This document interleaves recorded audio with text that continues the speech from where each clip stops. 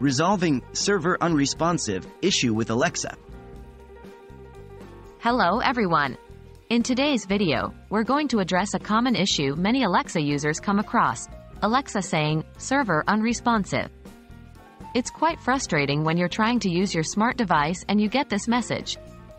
This error usually indicates that Alexa is having trouble connecting to the server to fulfill your request.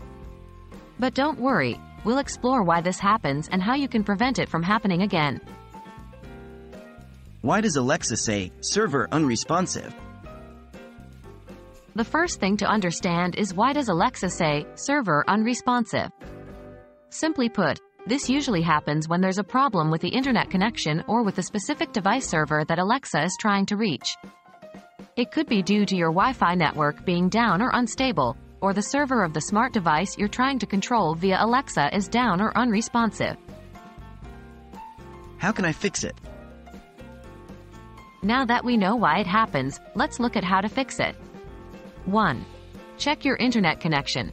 Ensure your Alexa device is connected to the internet. If your Wi-Fi network is down, your device can't communicate with the servers. 2.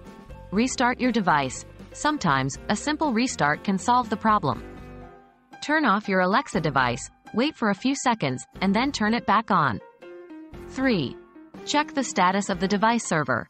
If you're trying to control a smart device like a light bulb or thermostat, check if the server of the device is working. You might need to contact the device manufacturer or check their website for this information. 4. Update your Alexa device.